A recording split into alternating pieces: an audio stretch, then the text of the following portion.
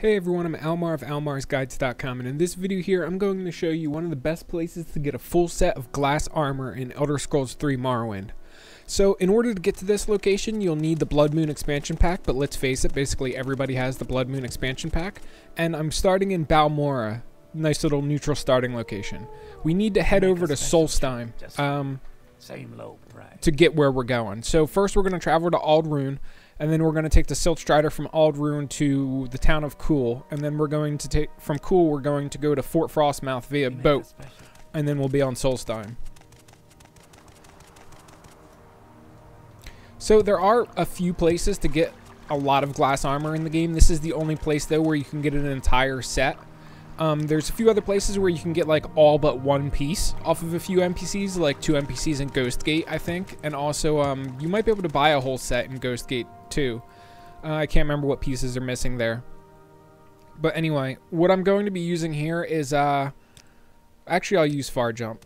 I, I have two spells. One is called Far Jump, one is called Hot Toad, and they allow me to travel far distances like this.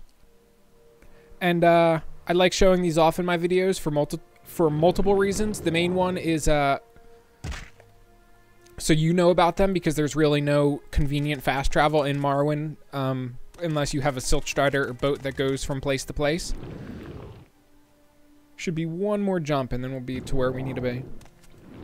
And uh, the other um, jump spell that I have, that is for um, more manageable jumps i.e. if I don't have to travel very far and I just have to travel from like a short little location, I can only buff my jump skill by, you know, 20 to 30 instead of 100. And uh, that will help me get from location to location. We're actually going to be using that one next because we overshot our destination just a tad. And uh, let me switch to local map. Also, let me turn off the fog of war. That way you guys can see the map. Because it's easier for you if you can just gauge where you are based on my map, etc., etc. And what we're looking for is the dungeon of Sjobal, um, is how it's pronounced. And it's, I see it. It's right to the east of the Tome of, uh, Tomes of Skaalara, which is right here. You come here during the Solstheim main quest. I'm pretty sure this is the Tomes of Skaalara. The entrance is, uh, sealed right now because we're not at that point of the main quest.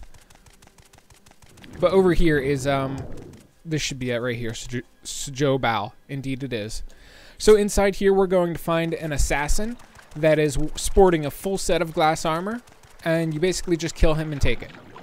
You should be able to do this at a lower level in the game. It shouldn't take a very, very high level in order to kill this guy.